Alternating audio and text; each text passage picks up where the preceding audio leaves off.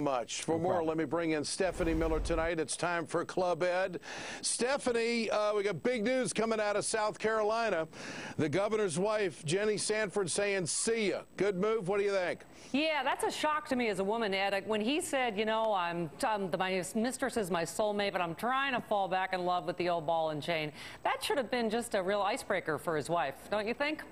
And he also, by the way, his wife also caught him with the texts and the emails. Between he and Tiger, what have we learned this week, boys? You can have sex with women other than your wife, or you can have electronic devices. You can't have both.